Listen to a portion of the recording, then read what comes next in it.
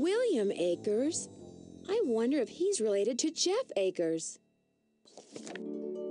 Speakeasy. Joe Akers? Emily said Jeff Akers' father was named Joe. Maybe Jeff is related to William Akers after all.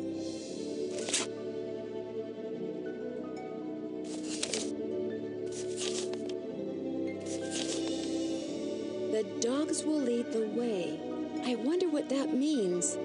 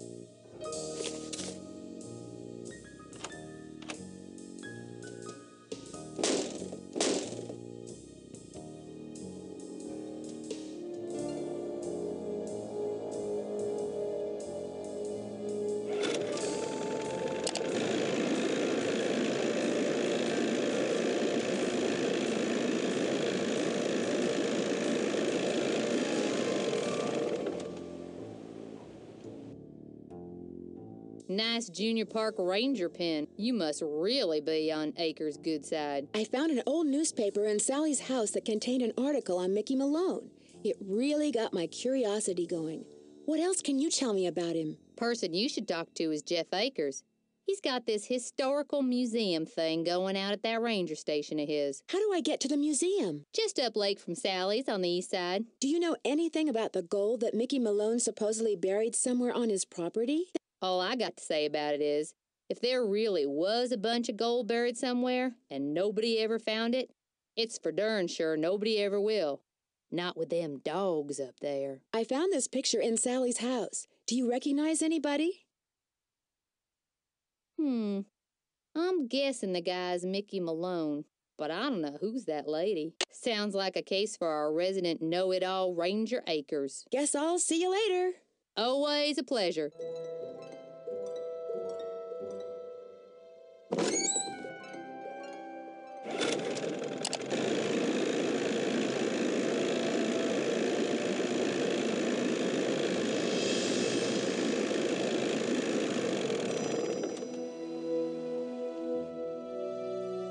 You're back. Sorry to bother you again, but did those results from the water test come in yet? There's something here for you from the State Department of Health.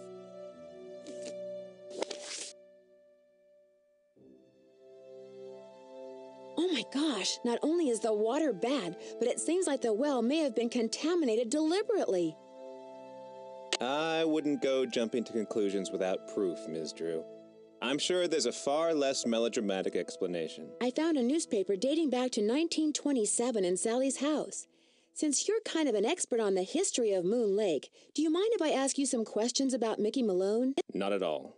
The article mentioned that a man named William Akers used to work for Malone. Is he a relative of yours? No. Quite a coincidence, I'll admit, but no.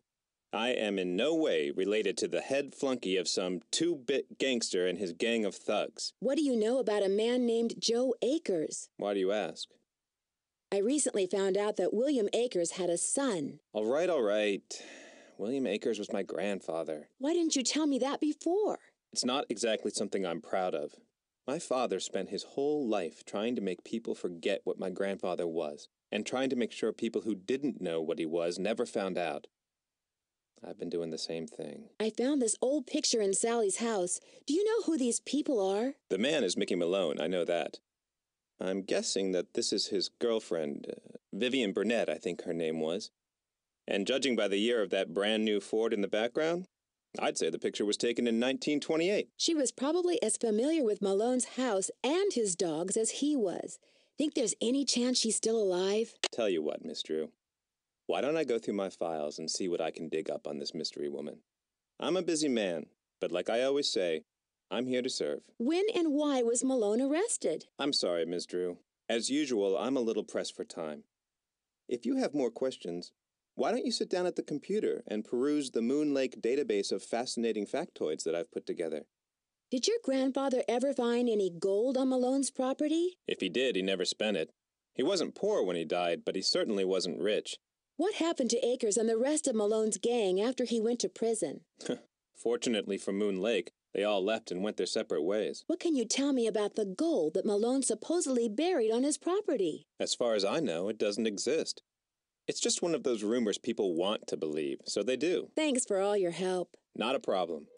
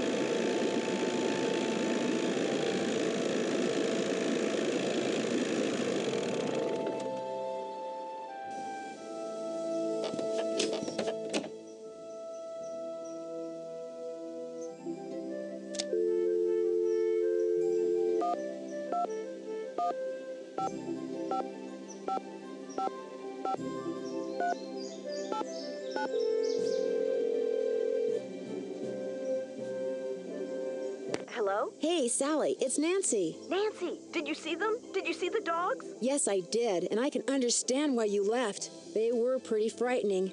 But if it's okay with you, I'd really like to stay and get to the bottom of whatever's going on. That's why you asked me here in the first place, right? Yes, but Nancy, are you sure? Positive. Consider Detective Drew officially on the case. I wish I were even half the trooper you are, Nancy. I have such high hopes for that house. All the beauty there, the wildlife, all the pictures I was going to take. It would break my heart to have to give it up. I need you to tell me everything you can about those dogs. They're black and they have yellow glowing eyes and they don't like me one bit. When's the first time you saw them? Well, let's see. I heard them the very first night I was here. I heard them almost every night howling in the distance, but I didn't actually see them until I'd been here about a week. After that, they started appearing pretty much every other night. When they appeared, did they always do the same thing? Yes, come to think of it. They always came running up to the house, barking and snarling. They'd lunge at the windows, they'd jump up on the door, they'd run around and bark some more, then they'd run off. What are you getting at? These attacks seem to involve a lot of choreography, which reinforces my theory that you're not being randomly attacked by a pack of wild dogs, but by dogs who've been trained by someone determined to scare you out of your house at Moon Lake. Who would want to do that? My closest neighbor lives two miles away. My property is surrounded by the state park, but it's off season, so hardly anybody is in the park. In fact, I bet I talked to a total of three people the whole four weeks I was at Moon Lake. What about River Heights? Can you think of anyone there who'd want you to sell your house at Moon Lake and move back to River Heights? you mean like an angry ex boyfriend or something? Nope, I sure can't. Since I'm going to be staying here a while, is there anything I should know about the place? Well, let's see. I've got the water turned off because it's well water and it needs to be tested before I can use it for anything. In fact, if you could get that testing done for me, I'd really appreciate it. Oh, and watch where you walk in the living room. Some of the floorboards are so rotten you could fall right through. And I keep hearing these faint squeaks and rustling type noises coming from below the floor.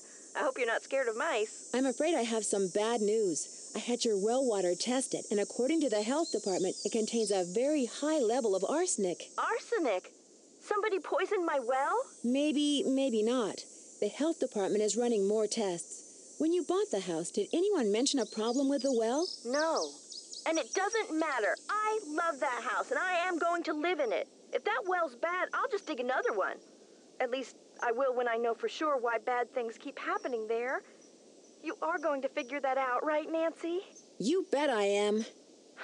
I knew I could count on you. Were you ever told that Mickey Malone supposedly buried a small fortune in gold bullion somewhere on your property and that it has yet to be found? Is this a joke? Malone supposedly stole a bunch of gold bars off a train and buried them at Moon Lake. You never heard about that? Uh, no. Could it be true? Well, if somebody thinks it's true, that may be the reason they're trying to frighten you off your property. How did you hear about it? I found the journal of a man named William Akers in a safe in your cellar. He was one of Malone's closest associates. Ever hear of him? Never. Where'd all that stuff in your tool shed come from? It's just junk left behind by previous owners. Came with the house. I've been meaning to take inventory and start pitching stuff, but I didn't. If they ever make procrastination a crime, I'm done for. Are you aware that you're the proud owner of your very own cemetery? Yes. When the realtor told me there was a cemetery on the property, I went, ugh. But when I saw how far from the house it was and how small it was, I decided I could live with it, as it were. So you didn't go out there much? Uh, no. That Emily Griffin is quite a character. How well do you know her? I feel like I've known her all my life. She's so open and friendly. She likes to make it sound as if Moon Lake used to be a major hangout for criminals and degenerates, which isn't really true and irks some people around here no end.